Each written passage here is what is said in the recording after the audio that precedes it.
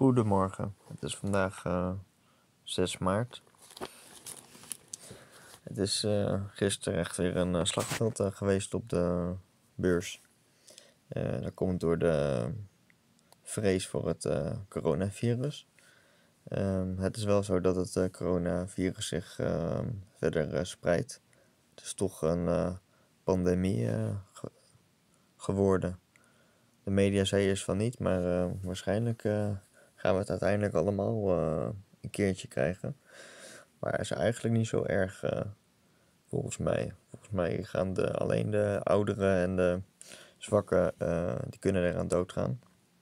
Ook al was die eerste arts die eraan gestorven is, niet echt oud. Dus het, is, het blijft spannend, maar ik persoonlijk ben niet bang. En ik denk dat het juist een goed moment is om in te stappen op de beurs gaat aan de Nederlandse beurs. Want dan kan je je belasting uh, heel gemakkelijk uh, terugvragen. ik heb het over de dividendbelasting. Um, ja, Nokia is niet Nederlands. Maar dat is wel een interessant bedrijf. Het is wel slim om een beetje te spreiden in verschillende landen. Maar als je begint, zou ik gewoon beginnen met Nederlandse degelijke dividend uitkerende bedrijven.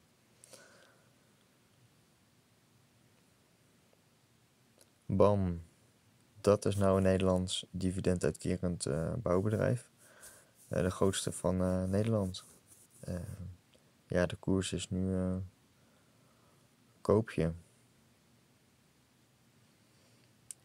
BAM kan over een maandje of zes zo weer op de 4,5 euro zijn, schat ik. KPN Koninklijke.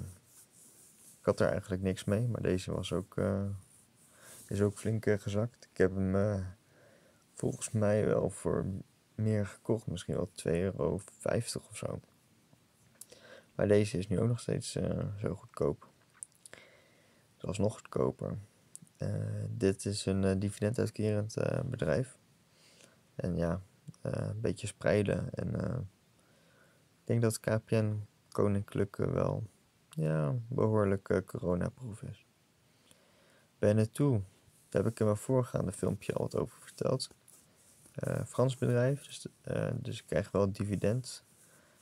Maar er wordt iets van 30% uh, betaald aan dividendenbelasting. Ehm, de helft daarvan kan ik terugvragen, maar dat is een heel gedoe. Dus uh, dat ga ik uh, alleen maar uh, doen als ik wat meer in Franse dividend aandelen heb belegd. Dan is het pas de moeite waard. Egon, verzekering. Ook interessant om in je profiel te hebben. En Nederlands. Nederlands dividenduitkerend bedrijf. Leuk voor de lange termijn portefeuille. Air France KLM uh, keert nu nog geen uh, dividend uit. Uh, ze hopen dat wel ooit te gaan doen. echter, dit jaar en volgend jaar denk ik niet. Kijk naar die koers. ja, die is ontzettend gekelderd door het coronavrees. Ik verwacht over zes maanden weer op de, tussen de 9 en de 12 euro uh, te zitten. Dus ik ga komende maanden gewoon lekker door met uh, zoveel mogelijk te investeren. Uh, verder ben ik niet echt fan van Air France. Uh, ook al heb ik het wel. en, en neem, ik, neem ik wel de, de gok. Um, Echter uh, zijn uh, luchtvaartmaatschappijen vaak uh, populair. Zoals in het boek The Intelligent Investor is het belangrijk om eerst die, cijfers goed te kennen. Dat heb ik bij Air France nog niet gedaan. Eigenlijk vind ik dat ook allemaal niet leuk en ehm, ja, het is, eh, het is vrij lastig. Soms vind ik het toevallig en dan, dan uh, schrijf ik het wel gelijk op hoor. Zoals uh, ben toe. Uh, ik heb daar wel wat. even kijken. Ja, dit is uh, ben. Ehm, de boekwaarde van het aandeel is 7,26 euro en de koers van Benetou is nu 8 euro. En ik heb Benetou gekocht voor 8,60 euro. Dus mocht je nu Benetou uh, kopen, dan heb je het al goedkoper gekocht dan uh, mij.